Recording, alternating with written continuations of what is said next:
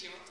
A večer jsme zakončili eh, fotbalem, viděli jsme utkání Plzně a Liberce a Plzeň vyhrála 1 takže spíš to Měli možnost si pořádně odpočinout, jelikož několik hodin v kuse nespali kvůli tomu posunu, takže byli velice rádi, že jsme je propustili. Uh, druhý den ráno, což byla sobot, ne, neděle vlastně už, uh, tak jsme je uvítali na Západočeské univerzitě uh, snídaní, kterou jsme si pro ně připravili, každý z nás něco napekl a měli jsme velikou radost, že jim to chutnalo.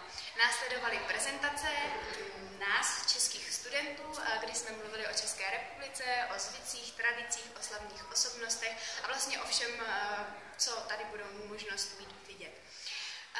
Potom jsme se šli na obědvat společně do restaurace Švejk, kde opět měli možnost zakusit české tradiční jídlo a následovalo fanění na zápasu v házené. Byli z toho velice nadšení, protože házenou v Americe neznají. Na konci dne, co bylo potom?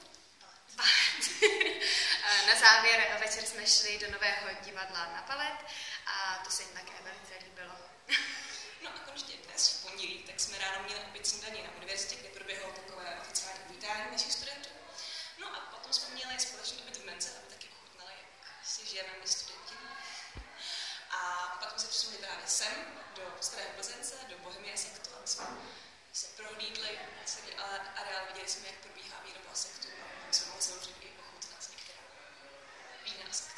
je prozatím vše, my se s vámi loučíme a děkujeme za shlédnutí!